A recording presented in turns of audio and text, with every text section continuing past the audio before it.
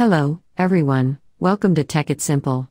Today's tutorial is about how to change your birthday or how to change your age on TikTok before moving on. If you have not subscribed to our channel, hit the subscribe button to Tech It Simple. So moving on today's topic how to change your birthday or age on TikTok. Watch this video till the end and learn how to do it. So first of all, you have to log into your TikTok account, and then go to your profile button at the bottom of your screen. Then tap on the three dots at the top right corner, then you have to go to Add Account at the bottom of your screen.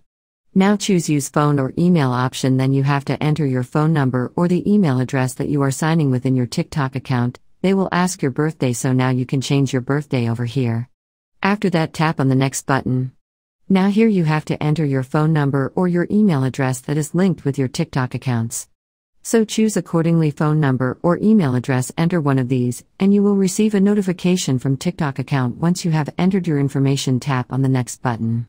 After this you will receive a notification from TikTok account and then your age will be definitely changed in your TikTok account since you just changed your birthday before this process, and then you can successfully use your TikTok after changing your birthday.